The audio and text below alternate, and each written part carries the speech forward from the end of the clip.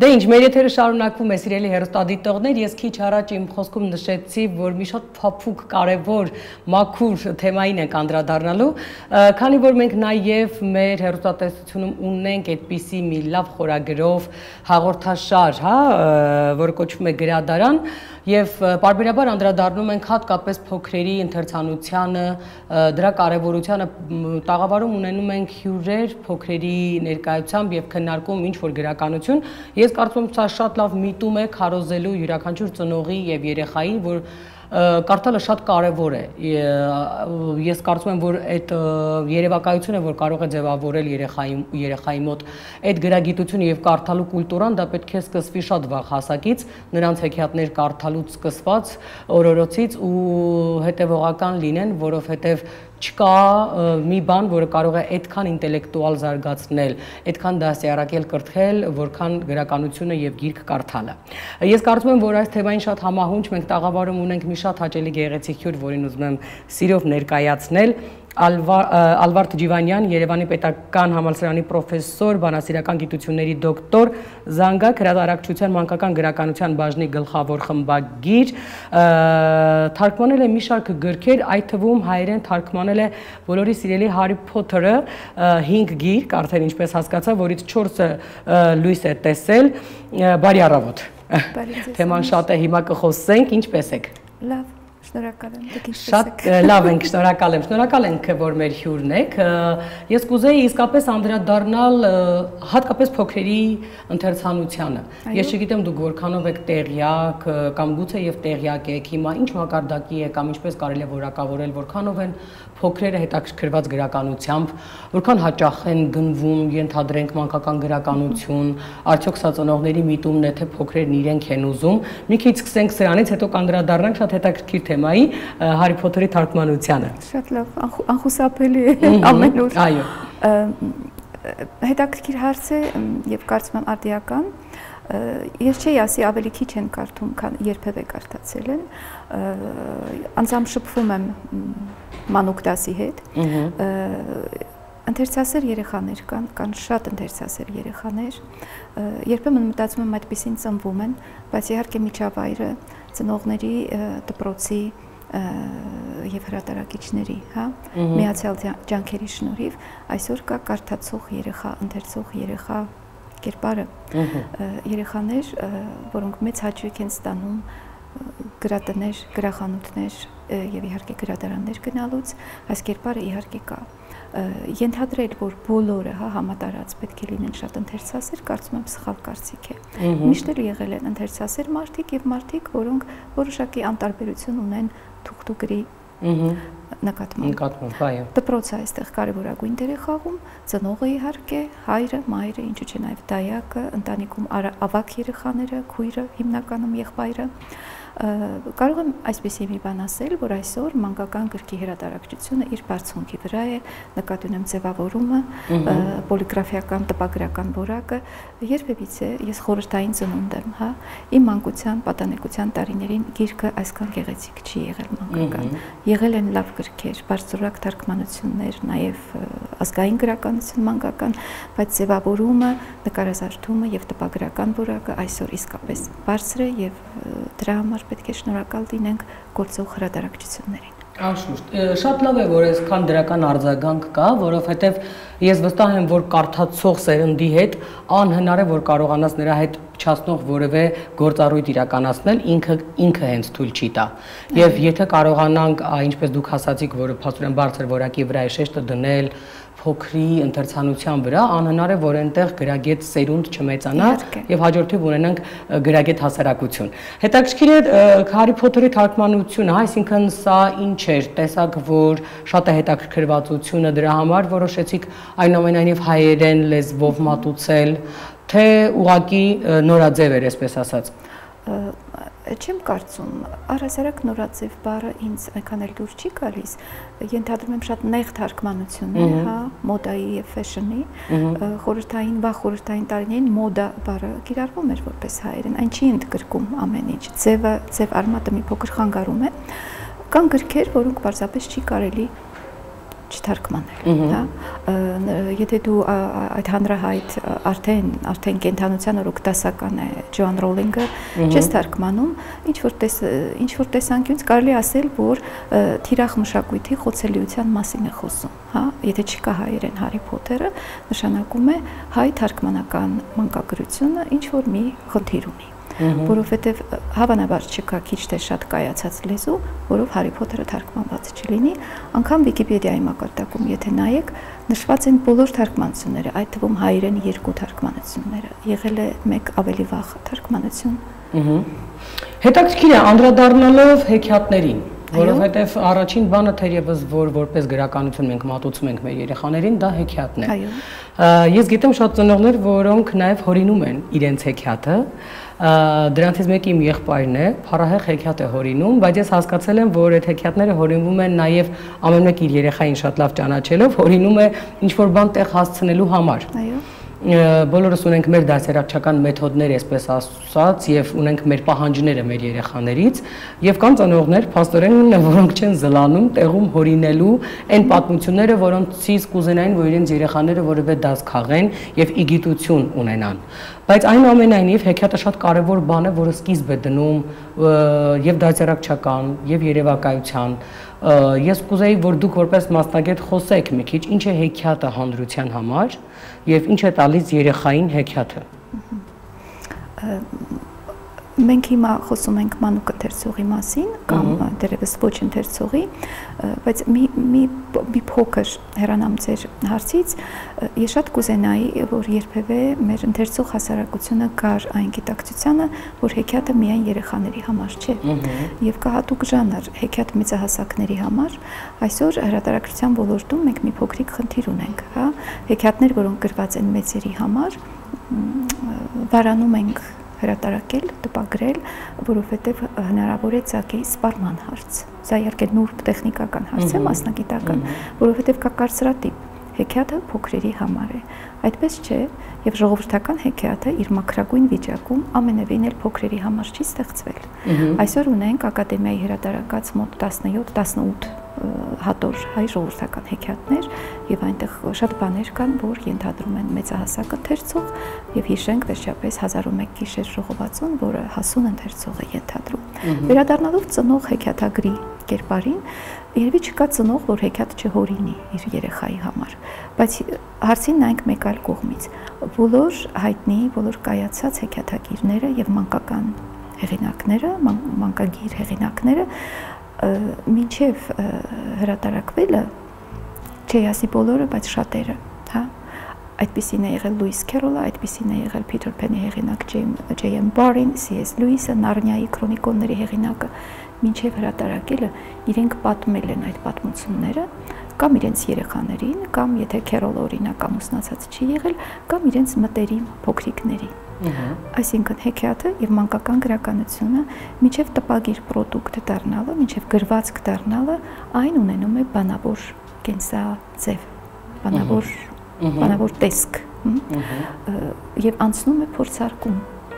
կենթանի ունկնդրի համար, հա, Ալիսը հրաշքների աշխարհում պատմվել է նախ Little Queer-երին, որից հետո նոր միայն գրառվել։ Կարծում եմ նույնը վերը իդեպ Այդ հեղինակների թվում շատ են եղել ուսուցիչներ, ինչպես են Ջանի Ռոդարին էր, որը հայտնի ուսուցիչ էր, ուսուցիչը եւ Մանկավաշվիլի Փուլմանը, այսօր ամենահայտնի ֆանտաստ գրողներից։ Այսինքն երեխայի համար հեքիաթ կամ մանկական որևէ ժանրի գրվածքի հեղինակը պարտադիր անցնում է այս փուլը։ Ոչ բոլոր հեքիաթագիր ծնողներն են դառնում գրողներ, բայց փոքրերի համար գրողների մեծ մասը այս կամ այն կերպ շփվել է իր ապակա, իր պոտենցիալ ընթերցողի հետ։ Այո, եւ եւ փորձարկել։ Երեխայից մեկուսացած երեխայի համար գրել հնարավոր չէ, դա абսուրդ է։ Նման գիրքը երբևէ հաջողություն չի ունենա։ Չի ունենա։ Հետաքրքիր է, քանի որ դուք նշեցիք նաեւ ժողովրդական հեքիաթների մասին, ես մի անգամ էլի ուրիշ ձևաչափի հաղորդման մեջ առիթ ունեցա հարցնելու ձեզ, արդյոք ժողովրդական հեքիաթները կարող են իսկապես նկարագիրը տալ տվյալ ժողովրդի եւ ի վերջո մոտավորապես երեխան հասկանա իր ժողովրդի առանձնահատկությունը, բարքերը, կանոնները։ Եվ այո, եւ ոչ։ Այո, որովհետև պատահական չէ, որ նշում ենք ցանկացած ժողովրդական հեքիաթների ժողովածուն երբ հրատարակվում է, գրվում է, որ մշակույթից է այդ հեքիաթը գալիս, որ մշակույթին է առաջվում։ Այ ժողովրդական հեքիաթներ, Irish folk tales, իռլանդական ժողովրդական հեքիաթներ։ Սյուժեի առումով, պատմության իրադարձությունների առումով այս հեքիաթները իրարից գրեթե չեն տարբերվում։ Ես չէ որ սա ասում եմ, ազգային առանձնահատկությունը, ազգային բնույթը, բնությունը ժողովրդական հեքիաթում առաջին հերթին երևում է լեզվի մակարդակում։ Այստեղից մեծ խնդիրներ, երբ փորձում ենք ժողովրդական հեքիաթը թարգմանել։ Գործնում ենք ավելին, քան ենթադրենք կգործնեինք Մադամ Բովարին թարգմանելիս։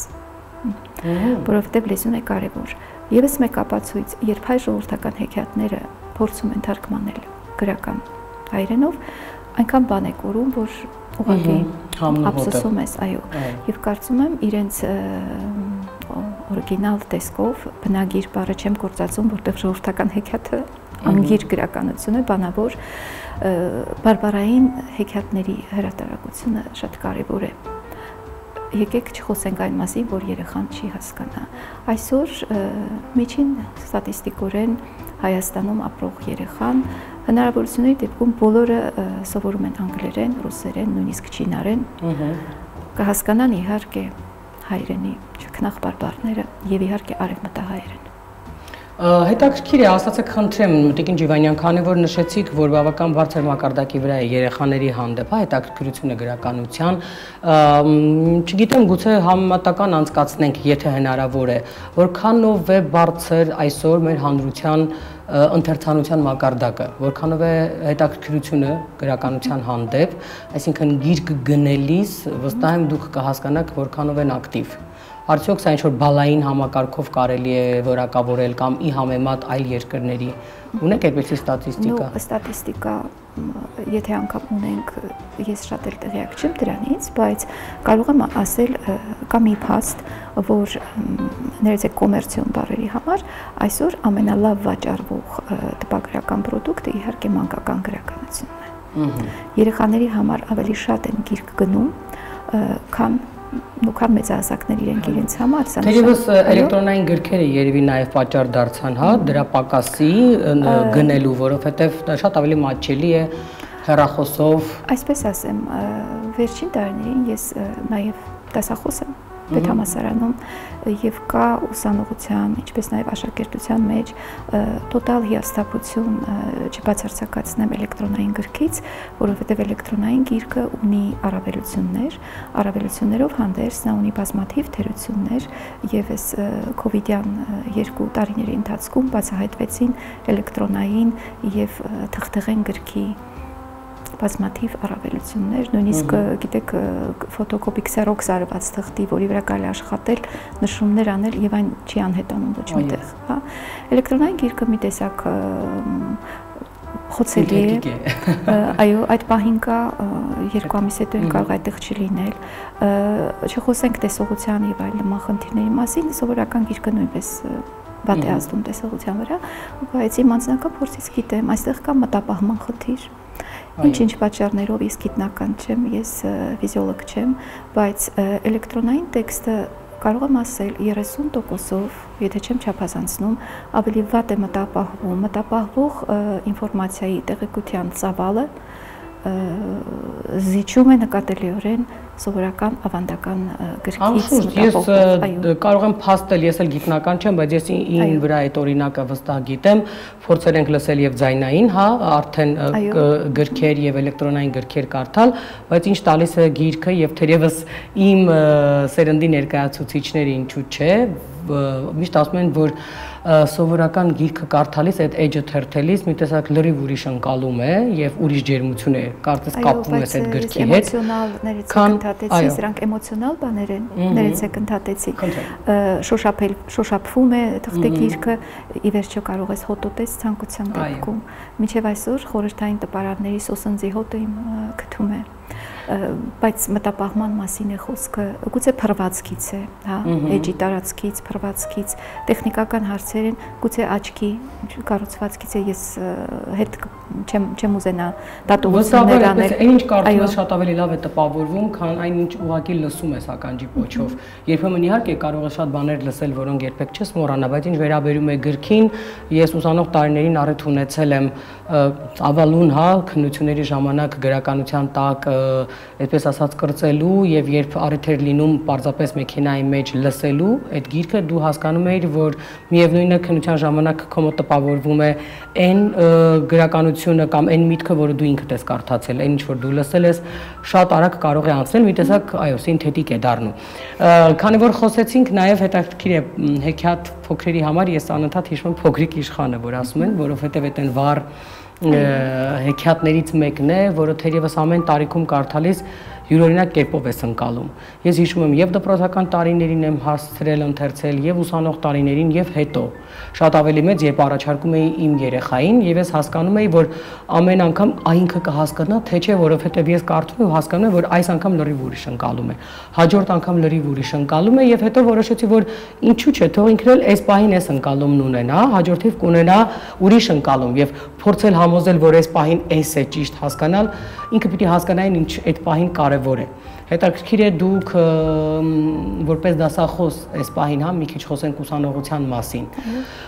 Ինչպես եք փորձում այդ մատուցել գրականության հանդեպ հետաքրքրությունը եւ արդյոք ուսանողը այսօր ինչպես է ընկալում գրականությունը իբրև կարևոր գործոն իր կյանքում գիրք առհասարակ։ Ну, ուսանող դասը ազգաբնակչության այն մասն է, որ ավելի ակտիվ է շփվում իհարկե գիր եւ գրականության հետ։ Ես դասավանդում եմ օտար լեզուների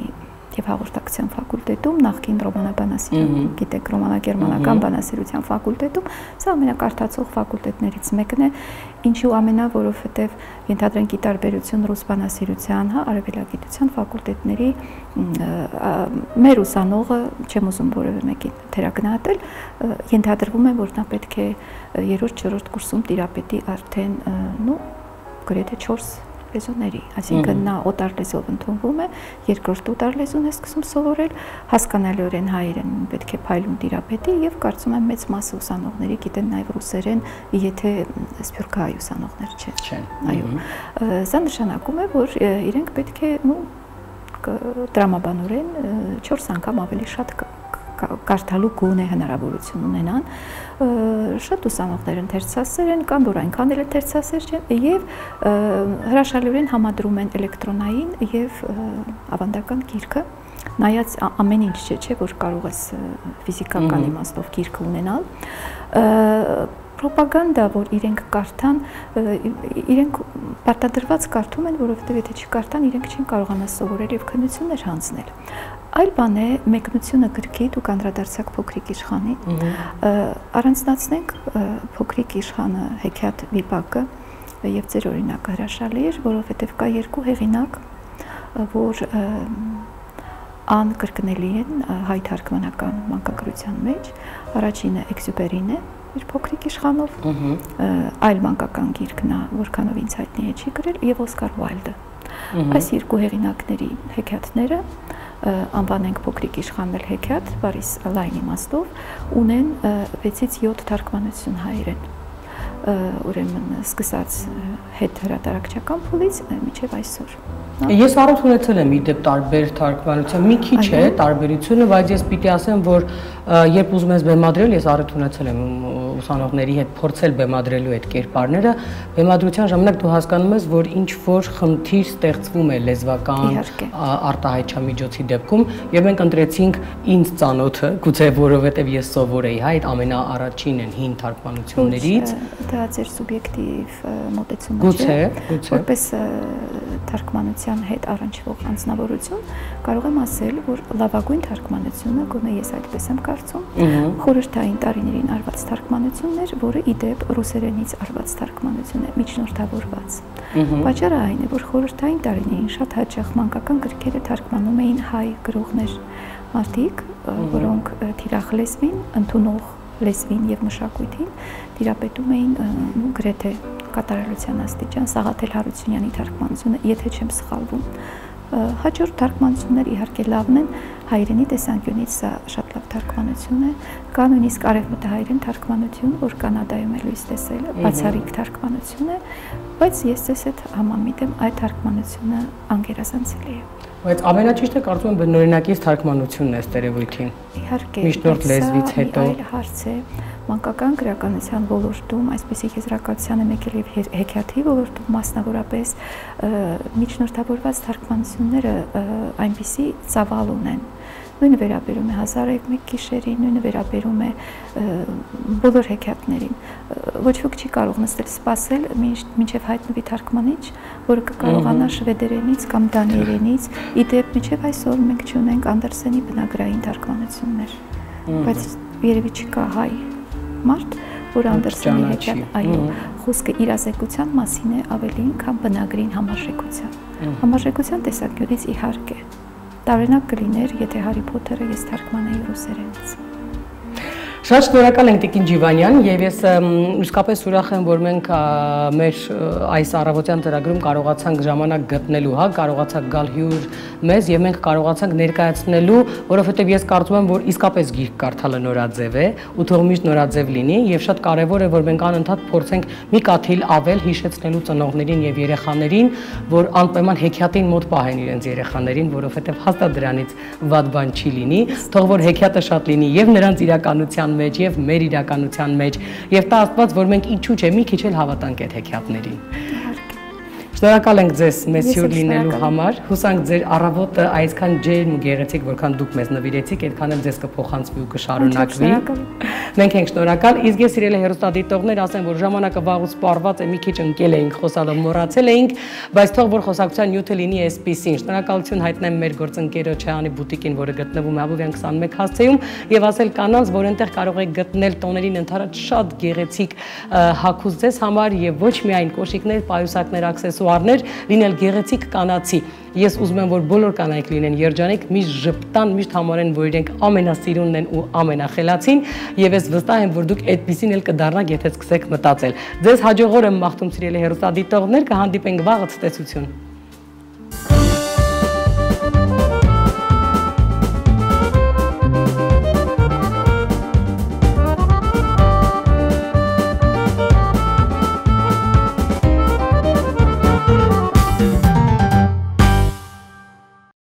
Շարունակվում է մեր եթերը սիրելի հերոստադիտողներ, մենք նորից տաղավարում ենք եւ արդեն տաղավարում ունենք հյուր, որին ուզում եմ սիրով ներկայացնել։ Անահիտ Թարխանյանն է իմ հյուրը, ճարտարապետ Արտուր Թարխանյանի անվան հայկական մոդեռնիզմի կենտրոնի հիմնադիր տնօրեն, Հայաստանի ճարտարապետների պալատի վարչության անդամ։ Բարի առավոտ։ Բարև ձեզ։ Լավ եք։ Ոչինչ, շնորհակալություն։ Հետաքրքիր է ինչպես է սկսվում ճարտարապետի առավոտը։ Սուրճով, կարդալով, երաժշտությամբ սուրճով, կարդալով, երաժշտությամբ, ավելի շատ նորություն լսելով եւ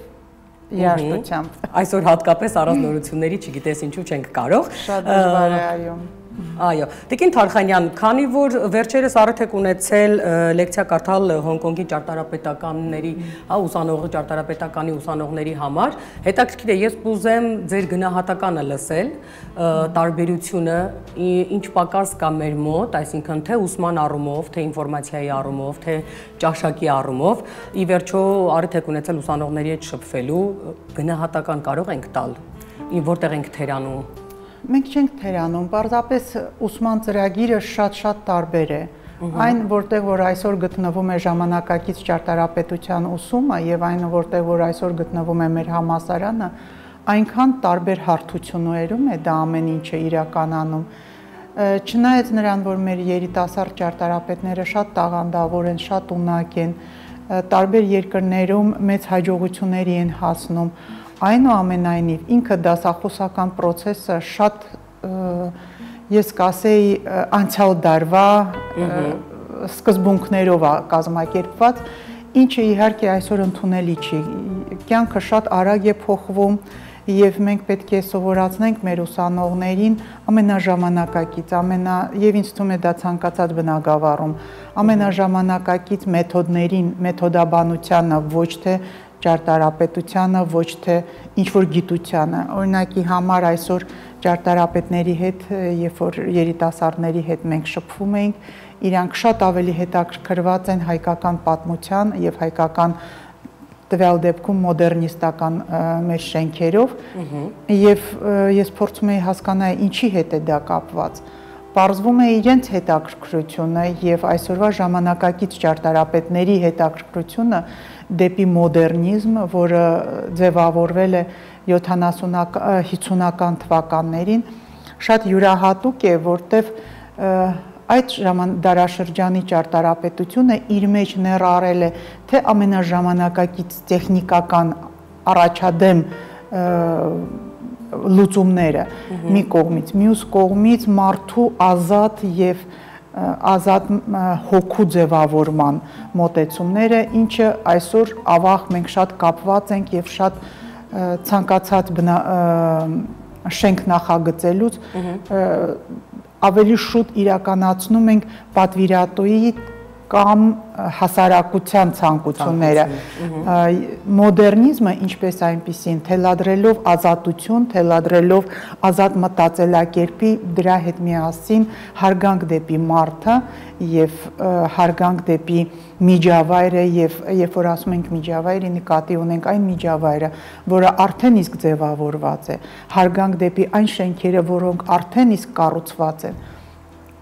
տարբերությունը շատ-շատ մեծ է եւ իհարկե այդ տարիների ճարտարապետությունը եւ այսօրվա ճարտարապետների մոտեցումները շատ տարբեր են մենք տեսնում ենք այսօր որքան հնարավորությունները մեծանում են, այնքան ճիշտ հակառակը, հա, ոնց որ մի տեսակ ավելի են թուլանում, քան կարող էր լինել առաջ։ Դուք օրինակ նշեցիք հին հին ճարտարապետության մասին, կադրեր էին գնում քիչ առաջ ես հիշեցի մեր կրծած կուկուրուզը, ինչպես գիտենք, ու այ ինքը չկա։ Ինքը մի տեսակ սիմվոլ էր մեզ համար, բայց այսօր չկա։ Խոսենք հա այդ խնդիրների մասին, որովհետև անընդհատ խնդիրների չենք բարձրաձայնում, կոծկում ենք ու հետո չենք կարողանում հասկանալ որտեղից այդքան կൂട്ടակված չիմացությունը մի քանի տարի առաջ գաղափար առաջացավ ստեղծել հայկական մոդեռնիզմին նվիրված մի թանգարան, որտեղ որ հնարավոր կլինի ներկայացնել մեր հայկական 50-ական թվականների ճարտարապետությունը։ Գիտեք, երբ որ ինձ հարցնում են ինչի հետ է կապված եւ ինչպես ձևավորվեց հայկական մոդեռնիզմը, թվում է թե 50-ական թվականներին երիտասարդ ճարտարապետները եկան եւ նոր գաղափարներ բերեցին, բայց դա այնքան խորը արմատներ ունի զարմանալիորեն եւ հենց այդ պատճառով է, որ հատուկ հայկական մոդեռնիզմի, հայկական ճարտարապետության 50-ական, 70-ական թվականներին այդպիսի մեծ ուշադրություն կա աշխարհով մեկ։ Բացմանը ներկա էին երևի թե մի 40 հոգի ճարտարապետներ ողջ աշխարհից։ Միայն 26 հոգի մարդ Շվեյցարիայից էին եկել, Իտալիայից։ Բացումը եղավ ոչ թե այն պատճառն էր, որ արդյոք մենք ուզեցինք եւ մեծ պահանջ կար հանրության, գիտեք, հանրության մեջ այդպիսի թանգարան ունենալ, որտեղ սովորաբար թանգարանները ձևավորվում են այն սկզբունքով, որի անհրաժեշտությունը կա հանրության մեջ։ Այլ մեր թանգարանը ձևավորվեց, որտեղ միջազգային մեր մեծ խնդիր եւ պատվեր կար այդպիսի թանգարան տեսնել Հայաստանում։ Եվ երբ որ սկսեցինք խորանալ, թե ինչպես ձևավորվեց մոդեռնիզմը Հայաստանում, դա իրոք շատ յուրահատուկ մի և, պատմություն է, ես փորձեմ շատ կարճ ասել եւ մենք ստիպված ենք գնալ կհավատակ մինչև 15 15 թիվը մեծ եղերնը, որտեվ այդ տարիներին Երբ որ ամբողջը ջնջվեց, հայ ժողովուրդը կորցրեց իր պատմությունը, կորցրեց իր արմատները, իր մշակույթային գործիչները եւ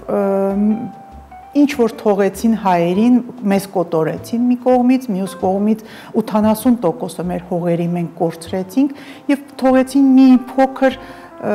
տարածք, որը մենք անվանեցինք մեր Հայաստան։ Ողջ աշխարից մեկ եկան բազմաթիվ մեծ մշակույթի գործիչներ, որոնք որ իր հետ բերեցին այն տարիների համար ամենաժամանակակից, ամենապրոգրեսիվ, ամենակայացած գաղափարները, մարդիկ ովքեր որ եկան, պատկերացրեք իր հետ իրենց ձգտումը Եվրոպայում ապահոված մշակույթի գործիչներ էին, որոնք որ գալիս էին Հայաստան, որտեվ Հայաստանում միայն 200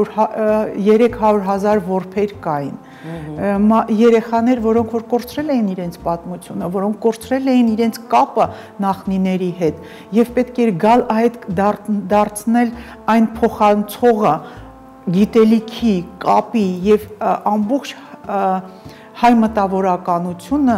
կազմավորվեց եւ եկավ Հայաստան, որ เป զի 0-ից որ երրորդ անգամն արդեն 0-ից սկսի հայ պատմությունը եւ իրանց ներքով էր մեր շատ հայտնի ճարտարապետներ դա Թամանյաններ, որը իր հետ բերեց հայտնի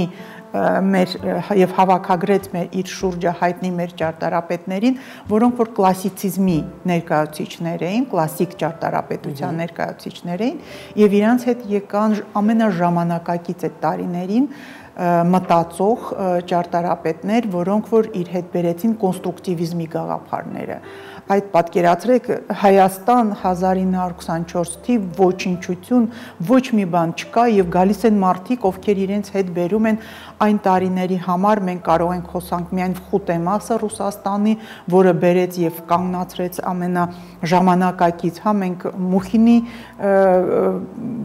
ուսումնարանը այդ այդպիսի մարդիկ եկան, որոնք որ ամենաժամանակակից եւ ամենաարդիական գաղափարների կրողներն էին դա Կարո Հալաբյանը, դա Քոչարը, դա Մազմանյանը եւ պատկերացրեք Հայաստանում սկսեց ձևավորվել մի նոր ճարտարապետություն, որի իմաստը այս երկու խմբերը չնայած իրար շատ սկզբից իհարկե շատ սիրում էին, հետագայում մեծ հակադրություն տեղի ունեցավ այդ խմբերի մեջ, որտեվ Թամանյանը գտնում էր, որ պետք է ձևավորել պատմության կապը Եվ այն շենքերը, որ մենք այսօր ունենք, Թամանյանական շենքերը, ինքը փորձում էր ժամանակակից ձևերով միացնել հայ ժողովուրդը իր միջնադարյան ճարտարապետության հետ մի կողմից, մյուս կողմից Թամանյանը բերեց այն տարիների համար ամենապրոգրեսիվ գաղափարները, դա Հովարդի Էբենեզեր Հովարդի գաղափարը քաղաք այգիներ։ Դա Էժեն Էնարի ամենա այն տարիների համար ամենաժամանակակից եւ պրոգրեսիվ գաղափարը դա զոնավորումն էր քաղաքի ամբողջ Եվրոպան անցավ զոնավորմանը միայն 45 թվականից հետո 1900 Հայաստանը 1924 թվականին արդեն սկսեց ձևավորել մայրաքաղաք, որը իր մեջ ուներ ուներ եվրոպական ամենապրոգրեսիվ եւ յուրահատուկ գաղափարները եւ այնքան հզոր էին թամանյանական այդ գաղափարները որոնք որ կապված էին նոր Երևանի, նոր մայրաքաղաքի հետ, որ այսօր երբ որ ամբողջ աշխարհը խոսում է կայուն զարգացման սկզբունքների մասին ցանկացած բնակավարում մենք ունենք Երևան, որը համապատասխանում էր Իշնորհիվ Թամանյանին այդ այդ սկզբունքներին այդ սկզբունքներին եւ այսօր ունենք ինչքան փորձում ենք մենք Երևանը ոչնչացնենք, այնուամենայնիվ այդ սկզբունքները մնացել են։ Հիմա ինչ վերաբերվում է մոդեռնիզմին, պատկերացրեք 36 թվականին կոնստրուկտիվիստներին փագեցին։ Մեկ կես ուղարկեցին Սիբիր, կեսին ուղարկեցին պարզապես ձերբակալեցին եւ միայն 55 թվականին հնարավորություն տրվեց հայ ժողովրդին նորից սկսել եւ անդրադառնալ ժամանակակից ճարտարապետությանը հենց այդ հնարավորությունը բացվեց Խրուշովյան գարուն ենք ասում այդ տարիները բոլորը լավ հայտնի են բազմաթիվ մշակույթի գործիչներ ստացան ռեաբիլիտացիա հետ վերադարձան Սիբիրից եւ Առաջինն էր դա Սամվել Արկադիեviչ Սաֆարյանը։ Ինքը իր շուրջը հավաքեց մոտարապես 40 ամենաերիտա այդ երիտասարդ, բայց շատ տաղանդավոր ճարտարապետներին եւ սկսեց դասավանդել կոնստրուկտիվիզմի սկզբունքները։ Ահա բայց նայեք մի կողմից կոնստրուկտիվիզմի սկզբունքները, մյուս կողմից այս գեղեցիկ մեր բոլոր երիտասարդ այդ տարիների համար ճարտարապետները մեծացան, հայկական շատ ջերմ միջավայր քաղաքում, որը որ ձևավորվեց ի շնորհիվ Թամանյանի եւ իր Թամանյանական դպրոցի ճարտարապետների։ այս մի կողմից այս խառնորդ, այսինքն կապը պատմականի հետ, կապը միջնադարյան ճարտարապետության հետ, կապը ժամանակակից գաղափարների հետ եւ դրա հետ միասին կոնստրուկտիվիստական սկզբունքները, բայց չմոռանանք, որ այդ տարիներին 50 դեռ 50 տարի չէր անցել Եղեռնից հետո եւ արգելված էր ընդհանրապես խոսալ Եղեռնիի մասին։ Արգելված էր ընդհանրապես մինչև վերջի տարիները խոսալ նրա մասին, որ Հայաստանը կորցրել է 80%-ը իր տարածքների, բայց այդ երիտասարդները դա զգում էին դա իրենց խորքում էր եւ նայեք ինչպիսի հետաքրքիր ձևափոխություն է տեղի ունենում մարդիկ ոչ թե չարություն են իր հետ բերում ոչ թե սկսում են ձևավորել ճարտարապետություն որտեղ այդ տարիներին տարբեր ուղություններ են ձևավորվում ճարտարապետության մեջ,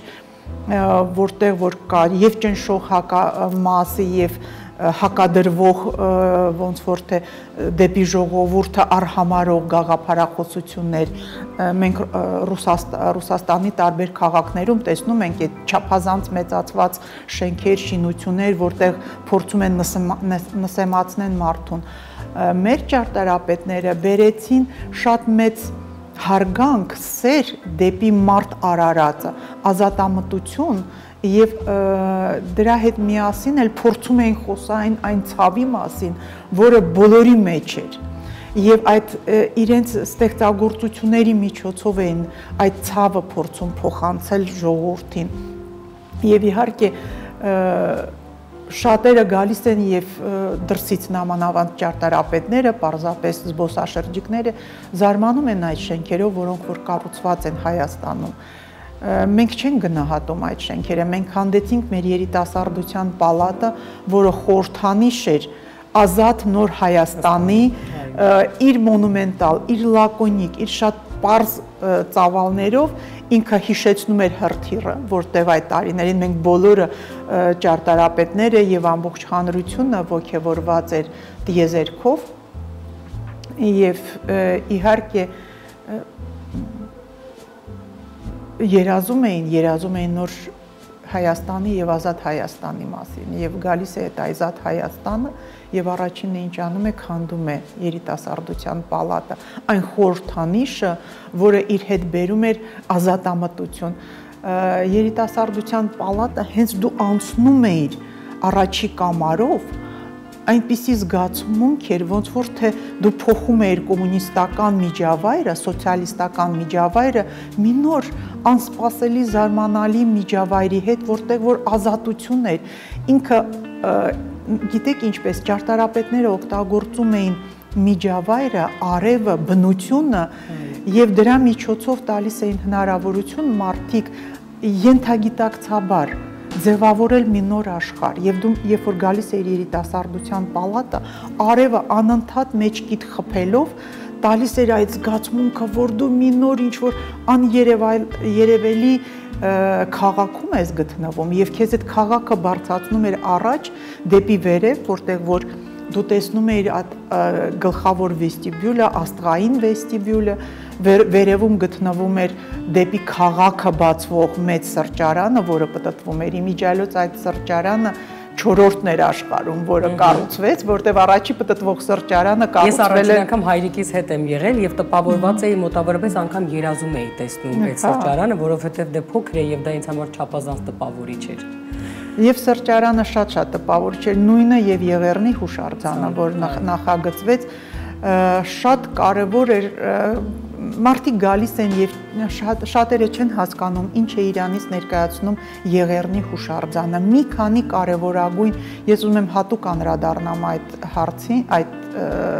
պատմությանը Եղեռնի հուշարձանի, որտեղ դա շատ կարևորագույն իմաստ ունի ինքը, խորագույն իմաստ ունի։ Առաջինը այդ ճանապարհն է, որը երկար մենք բարձրանում ենք Եղեռնի հուշարձան, եւ այն հայրս ասում էր դա Հոլգոֆային ճանապարհն է, որը ամբողջ հայ ժողովուրդը Քրիստոսի պես 15 թվականին անցավ, որ เป զի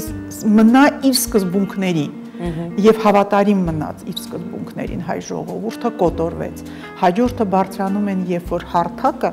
առաջինը ինչ որ տալիս տեսնում ենք մենք բոլորս երբ որ բարձրանում ենք հարթակը եղերնի հուշարձանը չէ մենք տեսնում ենք արարատը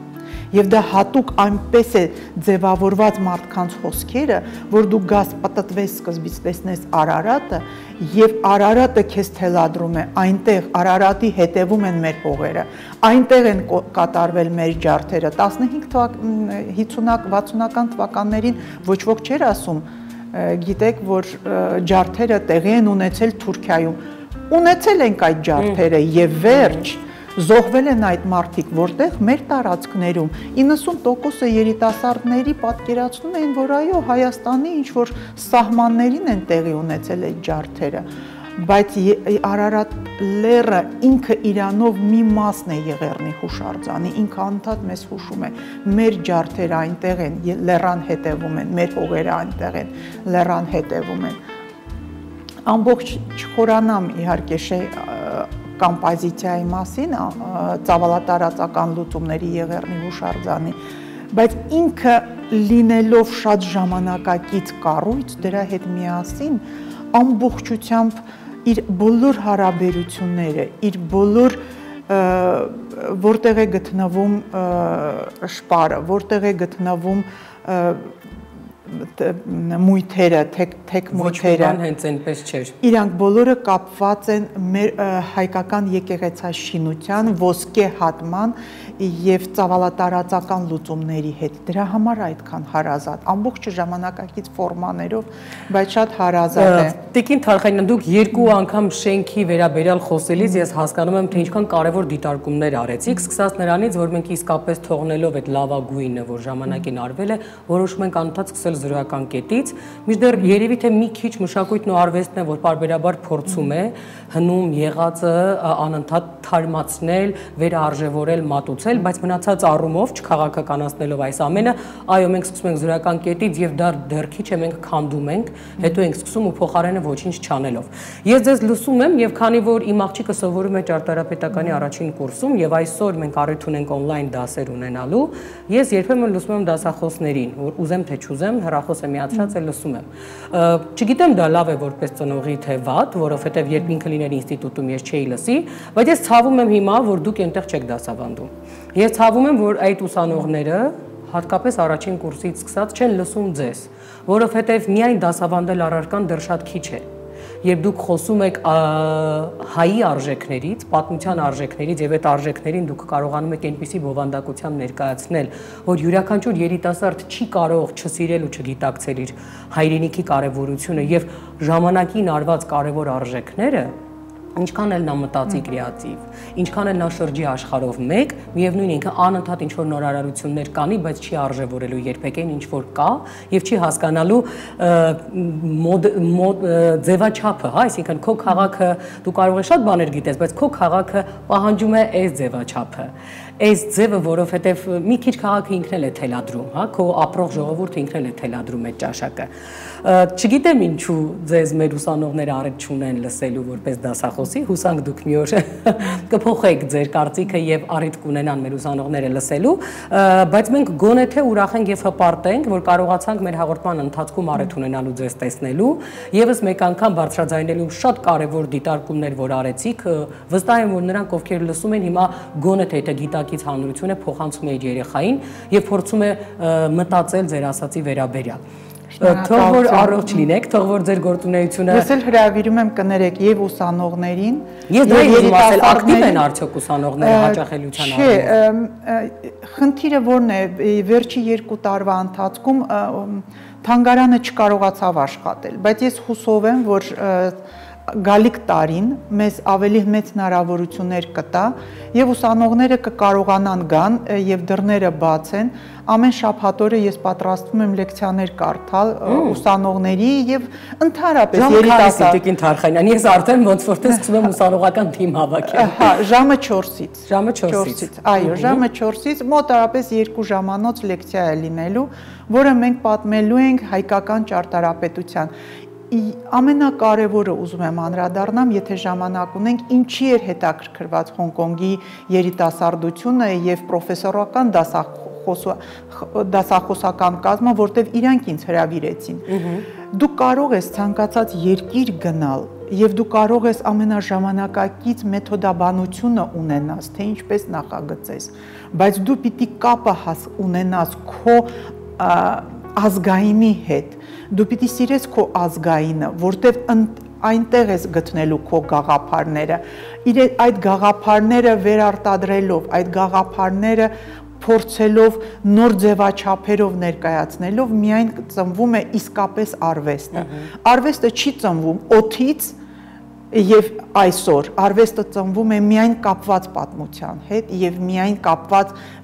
քո ազգային պատմության հետ ամենաժամանակակից ամենալավ գաղափարները միշտ կապ են ունեցել տվյալ անձի այո ազգային պատմական հիշողության հետ։ Տիկին Թարխանյան, քանի որ ես դաշ չկա ու ուսանողները տանն են ու հուսանք հերոստացույցը միացված է, խնդրում եմ ասեք հասցեն որտեղ է, թող որ չասեն չգիտեինք, որովհետև ես շատ կարևորում եմ ու վստահ եմ, որ հիմա իմ ողջավորությունը կփոխանցվի նաև ուսանողներին եւ կիմանան որտեղ որ հասցեում ժամը 4-ին արդեն ասացի կարող են լսել ձեզ Անտարային 188/16 դա հենց նախագահականի հետևն է, Բաղրամյանին զուգահեռ փողոց է, կարելի է գալ ամերիկյան համասարանի մոտով, շատ իրար կողք կողքի են այդ երկու շենքերը։ Շատ շնորհակալ ենք Տիկին Թարխանյան, որ առավոտից այս անձրևոտ եղանակին մեր հյուրն էիք, բայց ես վստահ եմ, որ ձեր ու ձեր նման մարդկանց շնորհիվ է, որ անընդհատ յուրաքանչյուր հայի մոտ այն հայի, որը սիրում է իր երկիրը, թող որ այդպես լինի, հա, մի քիչ այսպես ասած սուբյեկտիվ սարքենք, հույս է, որ այս մարդիկ կկարողանան փոխել այդ եղանակը փոխել, այդ գույնը փոխել եւ հասկացնել ու կրթության, հատկապես ես կարծում եմ միակ փրկությունը դա կրթությունն ու գրագիտությունն է, դրա շնորհիվ, որ այն մարդիկ, ովքեր առիթ կունենան ձեր միջոցով հասկանալու ինչ է նշանակում հայրենիքի հետ կապը, քո պապերի հետ կապը, քո քո մոդելի հետ կապը, հա, քո գենի մոդել, այո, էության մոդելի հետ կապը, այ կլինի մի օր այն Երևանը, որի մասին թե Թամանյանն էր երազում եւ փորձում էր անել, թե յուրաքանչյուր հայ, թե Քոչարը։ Էլ չեմ ասում, ես մի զավեշտալի պատմություն է գիտեմ, ժամանակը սահմանափակ է, որ Քոչարը բանտի տարիներին Բերթի կատվի պոչը պոկել էր, վրցին էր սարքել իր համար եւ խնդրել էր թաքուն սավան բերեին, որտեղ ինքը կարողանար նկարել, էլ չեմ ասում, որ Դավթի արձանը 10 տարի շարունակ թույլ չէին տալիս տեղադրել, որովհետեւ դե նա տարօրինակ արվեստի կատարելակերպեր ուներ։ Շնորհակալություն ձեզ անուշոր ենք մաղթում։ Հուսանք ձեզ էլի կտեսնենք մեր տաղավարում։ Իսկ ձեզ սիրելի հերոստադիտողներ ստիպված ենք ասել ցտեսություն սահմանափակ էր անգամ ժամանակը խախտել ենք, բայց հուսանք որ արդարացրել ենք այդ խախտումը կհանդիպենք վաղը ցտեսություն։